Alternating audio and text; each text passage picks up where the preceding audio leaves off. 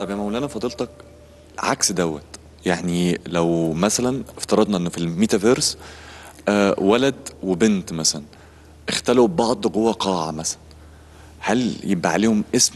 هما هنا بقى في الحالة ديت مش موجودين بجسدهم العنصري هما موجودين آه في الواقع الافتراضي بس اختلوا ببعض فهل عليهم الأحكام الشرعية؟ اتكلموا مع بعض أو يمكن يكونوا تجاوزوا دوت. بيتفرجوا جنب بعض مثلا على تلفزيون أو على كذا إلى آخره.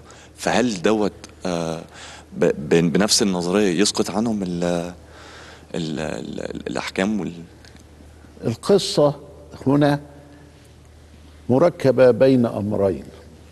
الأمر الأول الحل والحرمة. هل يترتب على ذلك إثم ولا لا؟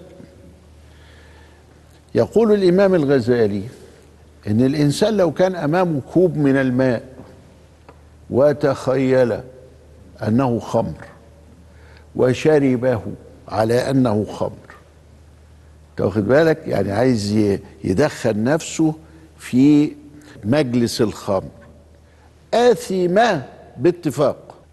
وفي الحرمة أثم باتفاق. وفي الحد قولان.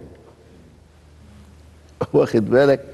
أرجحهما أن لا لأن هو ما عملش حاجة ده هو يا دوبك تخيل إن كوباية الماء اللي قدامه ولا كوباية الحلال اللي قدامه سواء شربات ولا عصير ولا كده إنهم خمر وهو بيشرب شارب على إن ده خمرة وبعدين هو مش خمر ولا حاجة يبقى الإثم هنا قلنا له طب يأثم ليه؟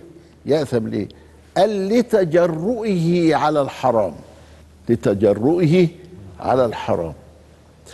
وتكلموا في باب النكاح والزواج وكذا إلى آخره والعلاقة بين الرجل والمراه أن رجلا أغمض عينيه وتصور أنه يزني.